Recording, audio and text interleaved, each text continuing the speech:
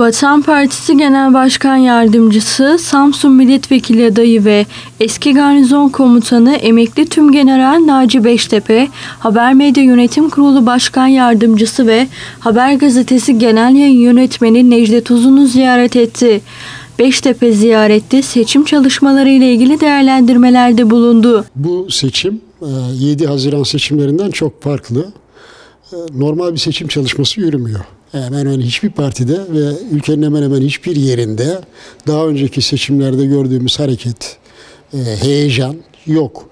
Hatta neredeyse sıfır düzeyinde. Ancak e, belirli oranlarda, belirli organlarla işte seçim çalışmalarını yürütebiliyoruz. Türkiye'nin ekonomik olarak büyük bir çöküntüye gittiğini kaydeden Beştepe açıklamalarında şunları söyledi. Bir de ekonomik olarak Türkiye büyük bir çöküntüye gitmekte.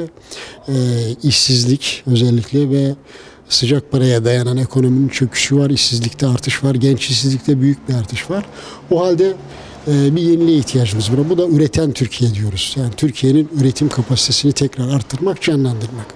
Bu amaçlar için biz kendimizi ortaya koyuyoruz.